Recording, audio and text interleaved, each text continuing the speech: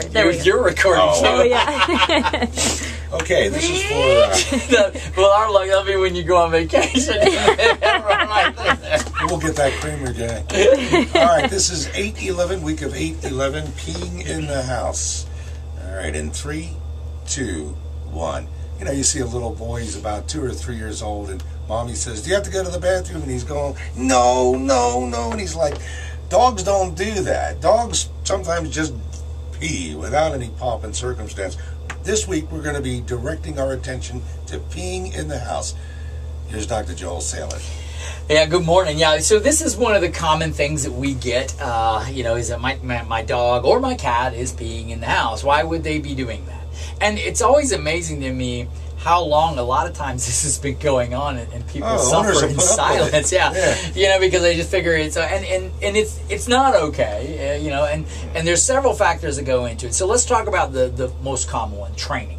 Okay, and that's the puppies. Okay, so potty training as they get going, uh, you know, learning the ropes. I will tell you that probably 70% of potty training the dog is training the owner.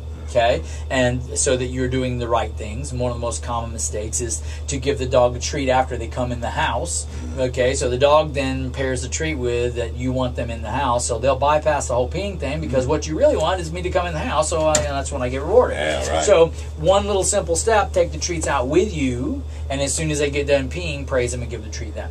That'll help speed that process. Also, if you have a dog that has a break in potty training, one of the simplest things to do is move them and, and use crate training. Okay. Okay. And if you're not sure what crate training, that's a whole nother talk in and of itself. So we'll leave that one. If you have a question about that, you got a dog you think might need that, call your veterinarian. Okay and ask them a question about crate training. Crate training is is probably one of the best ways to help drive a pet back to proper potty behavior. Now, let's talk about the sick ones. Okay, a lot of times peeing in the house can be due to illnesses. So one of the most common ones is urinary tract infections. Okay, and so if they have to pee because they have a sense of urgency. Now, one of the common misconceptions out there is, oh, I think my cat's got a UTI cats very rarely have a UTI. Okay. And it's because of the concentration of their urine. All right? Now, when cats do sometimes get UTIs, is when they have another condition, such as, say, diabetes or kidney issues, where their concentration drops. Okay? But at their normal concentration, which is usually like 1050, 1060, okay, on a concentration scale, bacteria can't live in that.